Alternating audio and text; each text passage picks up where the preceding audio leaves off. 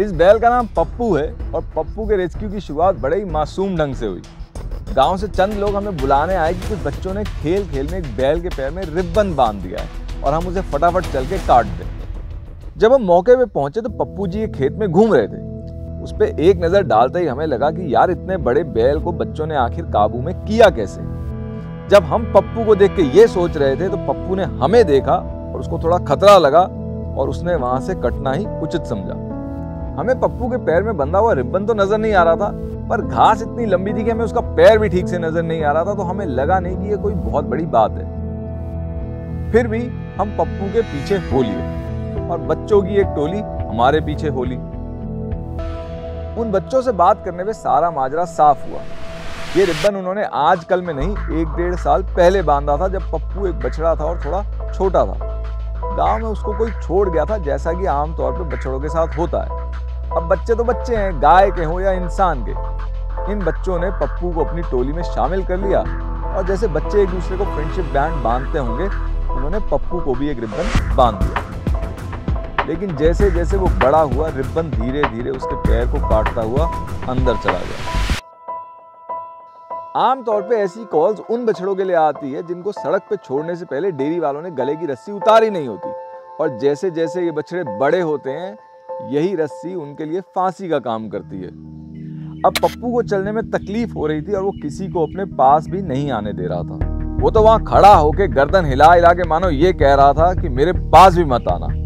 पर वो जैसे ही इतना स्थिर हुआ कि उस पर निशाना साधा जा सके, साहिल ने गन चला दी और डार्ट में भरी बेहोशी की दवाई पूरी पप्पू के अंदर उतर गई। हमें लगा कि वो ढीला पड़ गया और हमने उसको घेर लिया।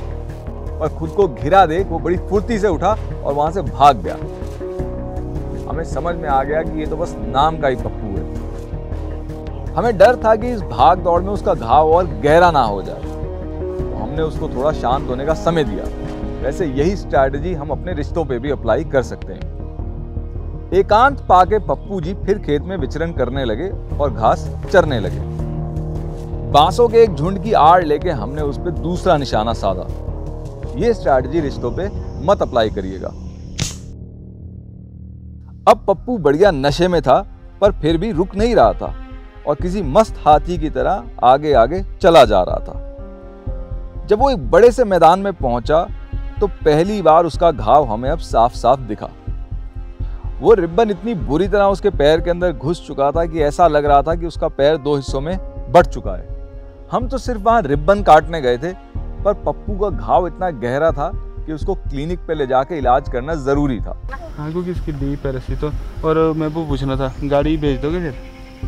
जैसे ही उसको अपने साथ ले जाने के लिए हमने पप्पू के गले में रस्सी डाली तो पप्पू तो धमच्चर की तरह वहीं बैठ गया।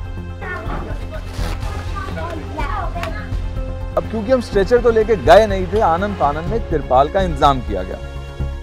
रेस्क्यू पे गए भी दो ही लोग थे तो समस्या अब ये खड़ी हुई कि इतने भारी बैल को गाड़ी में उठा के डाले कैसे? और इस समय एक धमाकेदार एंट्री हुई उन बच्चों की टोली की। उन्होंने पप्पू को उठाने की कोशिश करी, पर जैसे अपने करीबियों के साथ हम और बिटर जाते हैं, नखरे करते हैं, पप्पू पूरा ही लमलेट हो गया। पर जैसे अच्छे दोस्तों को जब पता होता है कि आपके लिए क्या सही है तो वो आपकी एक नहीं सुनते, उन बच्चों ने भी पप्पू की एक नहीं सुनी। तो अब हम दो और हमारे अनेकों ने साथ दिया तो पप्पू को जीप में लादा गया।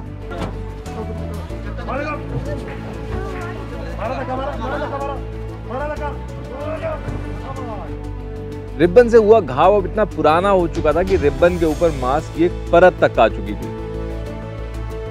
इस सब में हमें कई घंटे लग गए, पर आखिरकार पप्पू को रिबन से मुक्ति मिल ही गई।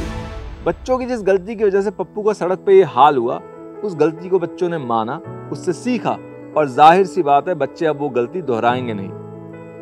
हमारी जिस गलती की वजह से पप्पू सड़क पे आया, जब तक हम उसको मानेंगे नहीं, उससे सीखेंगे नहीं, और उसको दोहराते रहेंगे, पप्पू जैसे हज़ारों बछड़े रोज सड़क पे आते रहेंगे।